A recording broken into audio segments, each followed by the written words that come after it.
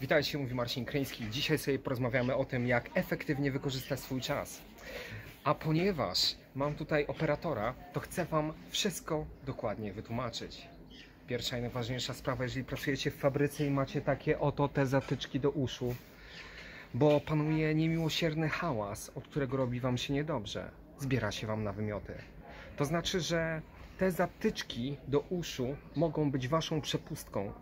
Waszą przepustką do lepszego życia. Dlaczego? Ponieważ nie są to zatyczki do uszu. Drodzy Państwo, kiedy spędzacie wiele godzin, wiele, setek godzin w fabryce z zatyczkami do uszu, to te zatyczki powinny stać się słuchawkami. Słuchawkami, na których słuchacie materiałów, słuchacie audiobooków, uczycie się, zdobywacie wiedzę po to, żeby awansować. A wystarczy podłączyć te słuchawki do swojego telefonu, puścić audiobooka i w ten sposób zyskujecie całe nowe życie. Dziękuję serdecznie, pozdrawiam. To był Marcin Kryński. Hej!